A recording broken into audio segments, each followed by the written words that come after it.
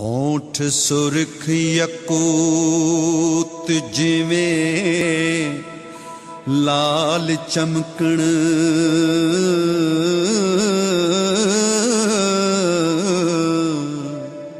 ठोडी सेब वलायती सार विचों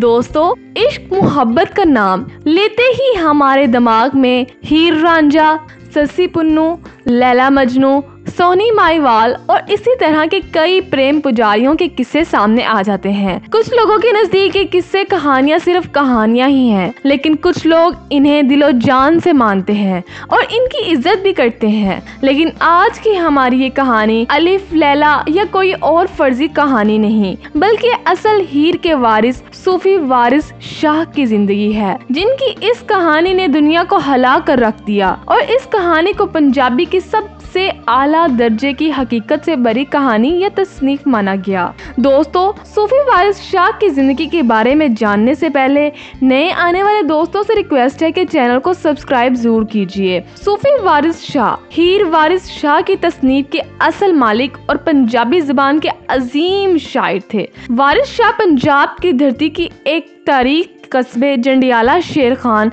जो कि शेखपुरा से 14 किलोमीटर दूर है, वहाँ पैदा हुए। इनकी वलादत 1718 ईस्वी की बताई में हुई। आपके वालिद का नाम सैयद शेर शाह था।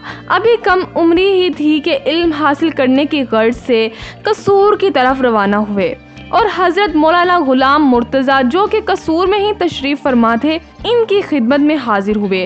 आपने बाबा बुल्ले शाह के साथ मिलकर उनसे तलीम हासिल की। दुनिया का इलम हासिल कर लिया तो उस्ताद ने इजाज़त दी कि अब जाओ और बातीनी इल्म हासिल करो और जहाँ चाहो, बैत करो। तरीक से पता चला कि बाबा बुल्ले शाह ने तो बाबा अनायत शाह कादरी की बैत की थी, जबकि सैयद वारिस शाह ने ख्वाजा फरीदुद्दीन गन शकर के ख़ानदान में बैत की। जब हीर रांझा के किस्से से मुतलिक आपके उस्ताद मौलाना गुलाम मुर्तज़ा को इल्म हुआ तो उन्होंने इस वाक़े पर नाराज़गी का इजहार किया और कहा कि वारिस शाह, तूने हीर लिख डाली और बुल्ले शाह ने इल्म हासिल करने के बाद फ्रंगी बजाना शुरू कर दी है। जब आपने कोई जवाब ना दिया तो मौलाना ने अपने फरीदों को कहा कि एक हुजरे में बंद कर दिया जाए। दूसरे दिन आपको बाहर निकलवाया तो किताब पढ़ने का हुक्म दिया। तो जब आपने किताब पढ़नी शुरू की तो मौलाना साहब दंद चंबे दी कली के हंस मोती। हो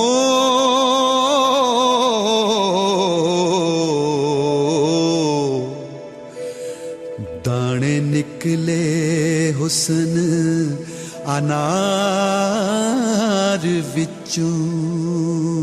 देखने के काबिल थी। ये सब कुछ सुनने के बाद मौलाना बोले कि, वारिस, तूने तो तमाम मोती जहरात एक मूंद की रस्सी में परो दिए हैं। ये पहला फिक्रा ही किताब की कदर मंजिलत को तय करता है। सैयद वारिस दरअसल एक दरवेश सूफी शायर थे। वारिस शाह का दौर मोहम्मद शाह रंगीला से लेकर मोहम्मद शाह अब्दाली तक का दौर है। वारिस शाह को पंजाबी ज़ुबान का शेक्सपियर भी कहा जाता है। पंजाबी ज़ुबान को आपने ही अरूज बख्शा।